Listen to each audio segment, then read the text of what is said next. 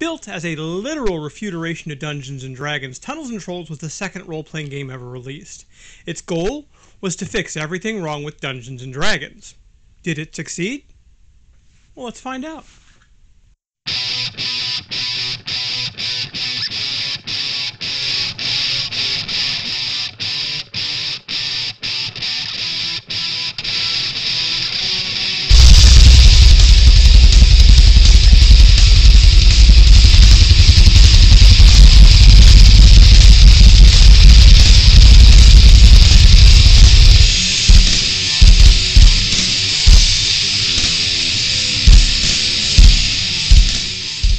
Up, Internet? Jay here with Nerd Rage Against the Machine, and today we're going to talk about Tunnels and Trolls. Tunnels and Trolls is the second role playing game ever produced. And we're going to talk a little bit about its history, but ultimately it was meant to kind of be Pepsi to D&D's Coke, if you will. Um, while there have been many other games in the fantasy role playing sphere besides just Tunnels and Trolls that have taken on D&D, among them, of course, Pathfinder, RuneQuest, Rolemaster, um, even things like Conan or or, or Stormbringer. Um, Tunnels and Trolls was the first. And it has a very interesting history, which I think is worth exploring, as well as taking a look at the game itself to see if it's indeed any good. Um, so that's what we're going to do right now. And now a little bit into the history of Tunnels and Trolls. It's a pretty fascinating game for its history. Um, the big thing was that uh, the designer, Ken St. Andre, had uh, had bought a copy of, or had gotten a copy of D&D from his local wargaming group and was asked to run it. After running it, he loved what he saw, but also found a lot of criticism. You know, it's like anything else. I love it, but this, that, and the other.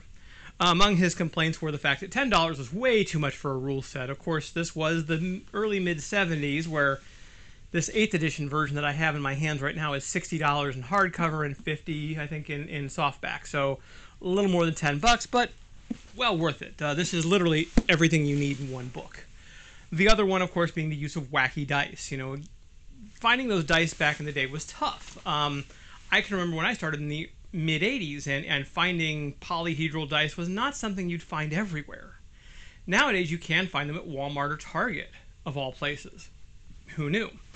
Um, I mean, that's one of the reasons that players were kind of, you know, obsessive about the crappy dice that came in the red box because, well, if you lost one of those, what were you going to do?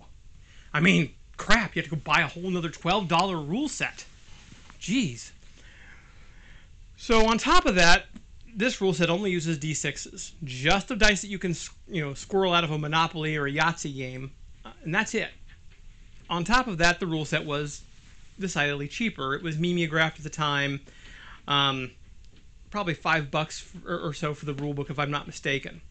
Um, what this game did was very different from D&D, though. There's a lot of differences. Now, there are some similarities. Uh, there are classes, but they're much looser. It's basically three classes: fighter, wizard, and rogue, with each giving a little benefit, basically imparting a benefit, not taking from you.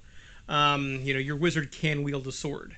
It's just the fighter's going to do a hell of a lot better job at it. Um, that kind of thing. The big thing, though, is that this is a very wild and wacky system, and that's a good thing. Um, one example that is that you roll 3d6 for stats, just like you do in D&D.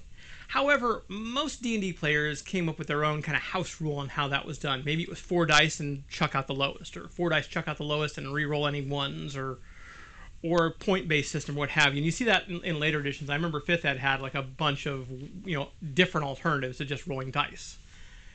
In Tunnels and Trolls, you're going to roll three dice and you're going to put them where they where they lay. And there's a couple reasons for that. The first of which is that your dice, if you roll three of the same number, so three ones, three twos, three threes, three fours, three fives, three sixes, etc.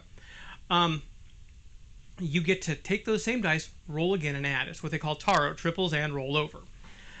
So this means that you could have some pretty wild stats as a starting character. If you roll a three in D and D, you're kicking the table and screaming and yelling that you're going to have, you know, somebody with either the world's worst charisma, the world's worst intelligence, or a total wuss. And Tunnels and Trolls rolling a three is like, well, that's a plus three to whatever I roll next. Eh, let's find out. Additionally, um, the bonuses are different. in D&D, most bonuses are simply a plus one or plus two. You know, like a dwarf might get a plus two to Constitution, maybe minus one to Charisma. In Tunnels and Trolls, they're multiples. So bragging that I have a 18 strength in D&D is, you know, it's very simple for a TNT character to look over and go, my strength's 35. Wuss. it leads to some very wacky de- deviations.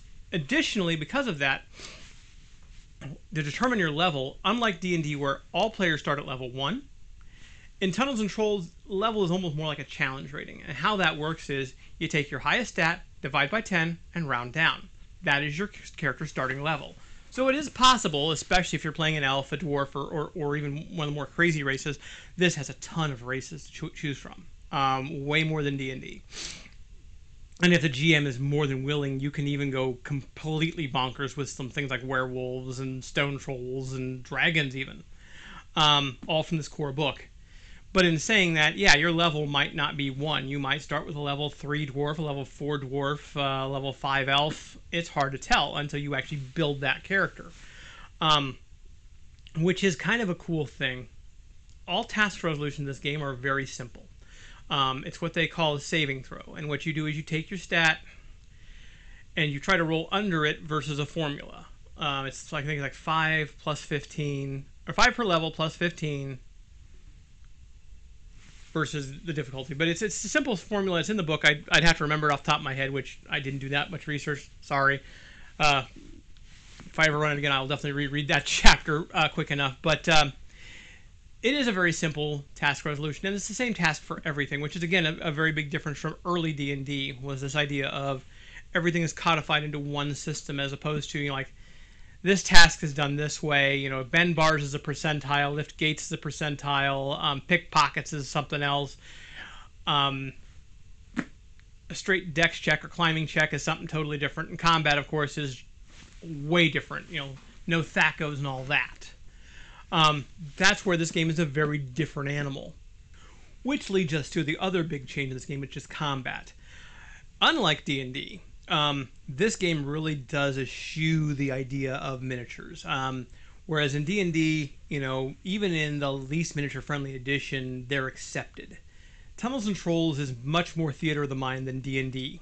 Um, to that end, how combat works is, is very cool and very simple. Uh, it, it, literally is a roll off. Now, one thing you'll notice, and I'm going to bring this up first, of course, is that the book is pretty thick. This is, like I said, everything you need but there's not a monster section. There's no real bestiary. There's no real monster manual to speak of. Instead, what Tunnels and Trolls does is you have two choices. As I said, there's a, a massive list of, of races. If it's a big bad or a boss kind of character, you can literally build them using the, the, the, the species template and dice. But if you just want, like, say, a horde of kobolds or a horde of orcs or, or maybe just a basilisk or something that you want to run around, you give it whatever special abilities you deem fit, and then you generate what's called a monster rating, which is an, um, an amount of hit points the creature has and an amount of dice that he'll throw. Um, so let's say if a MR is 8, he gets 8 dice and 80 hit points. Pretty simple stuff. Now, with that in mind, what you're going to do is every player would roll their attack at the same time. There's no initiative.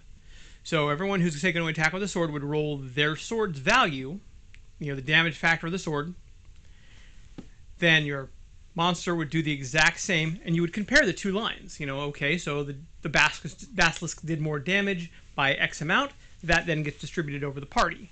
Or vice versa, the party does more than the basilisk, then the basilisk takes that, that difference. Now, the only oddity to this is sixes. If you roll a natural six, it's what we call spite damage. Spite damage is damage that gets through no matter what. Your armor won't absorb it. You're um, you're gonna take that damage. Just one point of damage for every every dice that rolls a six, to represent the idea that even when you're doing well, there's a chance you're gonna you know smack something or, or, or strain something or what have you. Um, this is where spite damage comes from, which makes combat pretty easy. Now, if you decide to do ranged or um, magic spells during combat, you kind of pull yourself out. You're still available to take damage, but you roll your damage separately. You roll your attack separately, kind of as a, as a back backbench kind of thing. Um, the best way I can describe combat is I would honestly think if you're going to use miniatures, it don't look more like a old school Final Fantasy, you know, put your figures on the field, and everyone who's going to go melee, you know, put them up front. Everyone who's not, go back, and then monster, same thing. Um, it works really well, and again, it's very fast. Very fast combat, which also does, you know, avoid things like, you know, long times of initiative questions or analysis paralysis, which makes the game a lot of fun. The other thing about that, though, is because of the lack of detail for monsters and things, I do think whenever I've run Tunnels and Trolls, I tend to jump more toward traps and puzzles rather than combat encounters, because the combat is is quick and easy, and deadly at times, but it's not anything where you're going to be spending a lot of time with tactical choices either, for good or for bad. Um, so that's something to keep in mind when looking at Tunnels and Trolls as, as an alternative to D&D is, you know, with all its faults, D&D can still be kind of tactical, especially with minis. Um, Tunnels and Trolls is kind of eschews that. Now, the other thing is that TNT, unlike Dungeons and Dragons, does not take itself too seriously. Um, there are all sorts of examples of this game being goofy, just not just from the artwork, but from the personality of the game. Um, there's a spell, a first level spell called "Take That, You Fiend," which sounds a lot funnier than Magic Missile. Um, and some other spells that also have that same, you know, now you see me, now you don't, you know, these kind of things, which are kind of goofy. And that tongue in cheek attitude kind of permeates this game. Um, again, if you're looking for something grim, dark, or, you know, you're looking to, to be very hardcore, this game definitely doesn't have that feel. I mean, yes, as a GM, you could always pull the game in that direction and ignore these things, even change the names of things like, you know, change Take That You Fiend into Mystic Bolt or something like that to make it sound cooler. But at its heart, it really is a game that is designed for old school dungeon crawling fun.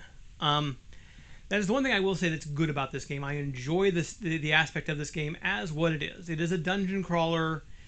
It is not a, a massively overthought or, or grim dark game at all. It can be a lot of fun, and for its age, it's actually held up really well. There is an additional RPG out called Monsters Monsters, which is basically this in another form, the idea being instead that you play monsters. I've run that one a couple times. The one warning I would have for that one is you do really need to rein in what kind of monsters you're playing. You know, if one person wants to play a dragon, maybe they should all be dragons. Or if you want to play werewolves, then everyone be a werewolf or a vampire, or at least humanoid in that same scale.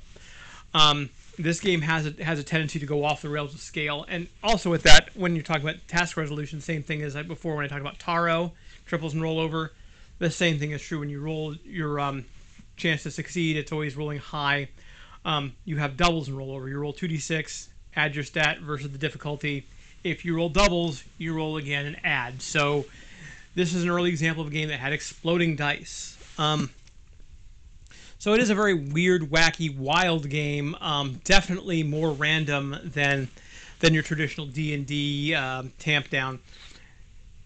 But it is fun. That is the thing about this game. That this is not again. If you're looking for the most simulated combat you could come up with, the best representation of tactical resolution, this ain't it.